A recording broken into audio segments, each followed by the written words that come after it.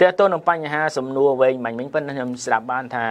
ប្តីមិនអាចមិនធ្វើប្រតិបត្តិតាមអ្វីដែលអល់ឡោះបង្កប់ប្រាជាកាតព្វកិច្ចរបស់គាត់ទេសុំកលុំតែប្រពន្ធជាអ្នកដែលធ្វើហើយប្រពន្ធបានណែនាំរំលឹកច្រើនដងហើយតែគាត់នៅតែមិនព្រមធ្វើតើប្រពន្ធអាចលេងបានអត់ប្រពន្ធចង់លេងប្តីមិនព្រមលេងមិនព្រមលេងរឿងរបស់វាទៅរកថ្នាក់ដឹកនាំព្រោះថ្នាក់ដឹកនាំមានសិទ្ធិក្នុងការរំលឹកបាទទី1គឺបញ្ហារំលឹកគាត់នឹងដាស់តឿនម្ដងជាពីរដងមិនព្រមប្រតិបត្តិទេ ហើយមិនព្រមលេងហើយប្រពន្ធនៅក្នុងនាមជាអ្នកដែលត្រូវគេធ្វើគេហៅថាអារម្មណ៍ផ្លូវចិត្តណាចង់ឲ្យប្តីល្អចង់ឲ្យប្តីធ្វើនៅអ្វីដែលជាកតបកិច្ចឲ្យធ្វើអញ្ចឹងថ្នាក់ដឹកនាំគាត់រំលឹកអស់លទ្ធភាពរបស់គាត់គាត់មានសិទ្ធិដាក់ការតឡាអូឥឡូវយើងមើលស្ត្រីម្នាក់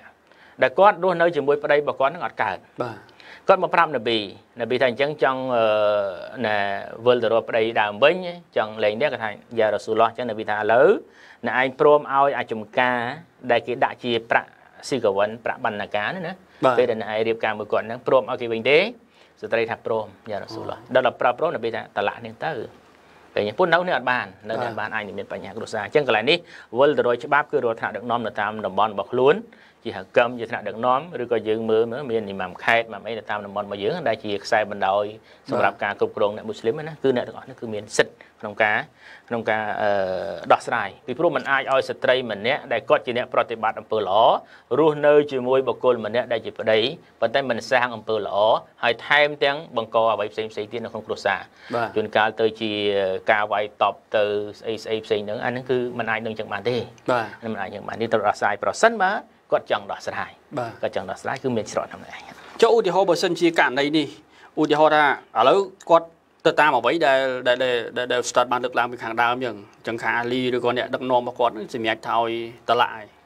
ប៉ុន្តែប្តីទៅតែមិនព្រមទៀតអញ្ចឹងករណីហ្នឹងវាយ៉ាងម៉េចទៅវិញទេប្តីមិនព្រមក៏ដោយកាលណាខុសពីលក្ខខណ្ឌថ្នាក់ដឹកនាំជាអ្នកតឡាឲ្យអូ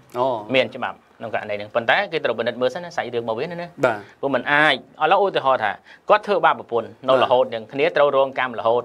ហើយខ្លួនឯង ការតលាក់នៅលើដៃប្តីមិនអាចតលាក់អត់បានទេមិនអាចឲ្យអ្នកណាមួយធ្វើបាបមនុស្សម្នាក់ឲ្យគ្មានច្រកចេញបានទេប្រសិនបើយើងធ្វើអត់ត្រឹមត្រូវកញ្ញា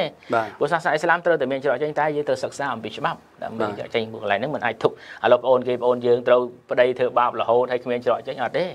ត្រូវតែមានច្រកចេញចុះបញ្ជាវិញករណីឧស្សាហ៍ខ្ញុំសូមភ្ជាប់បន្តិចទៀតព្រោះរឿងនេះវាសំខាន់ឃើញថាវាមានក្នុងសង្គមយើងច្រើនបាទ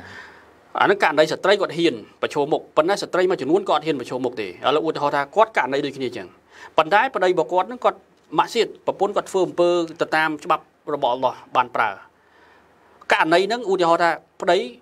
លក្ខណៈមួយអ៊ីស្លាមតែឈ្មោះទេប៉ុន្តែមិនបានអនុវត្តអ្វីទាំងអស់សូម្បីតែស្មោះយ៉ាងជាប្រចាំថ្ងៃក៏ដោយហើយប៉ុន្តែប្រពន្ធដឹងថាមិនស្រួលប៉ុន្តែមិនទម្លាយប្រាប់ហើយនៅតែបន្តរួមរស់របៀបជាប្តីប្រពន្ធដែរតើហុគមវាយ៉ាងម៉េចវិញពាក់ព័ន្ធអ្នកដែលសុំកលុំអ្នកហ្នឹងទូខុសត្រូវទៅទីមួយគាត់ធ្វើបាបខ្លួនឯងអញ្ចឹងគាត់ដឹងថានឹងខុសហើយតែគាត់នៅតែតែបំពេញ បំសុំកលុំនៅអំពើខុសអញ្ចឹងគាត់ក៏ខុសដែរព្រោះដូចនិយាយខាងដើមដល់អល់ឡោះចេះថាវឡាតាអាវនូអាលអ៊ីអ៊ីស្មីវ៉ាល់អ៊ូដវ៉ាណាណាកុំកុំនាំនេះជួយលើផ្លូវដែរអឺនាំឲ្យមានបាបកម្មឬក៏សត្រូវខ្លាយសត្រូវនឹងអល់ឡោះជាម្ចាស់ឃើញអាហ្នឹងទង្វើនឹងខុសពួកអល់ឡោះស្អប់ហើយដល់យើងទៅចូលរួមនៅហ្នឹងក៏ស្អប់ដូចគ្នាពីពួកគាត់យោងទៅលើទៅលើកូនទៅលើចៅអញ្ចឹងមិនមែនមានន័យថាអឺ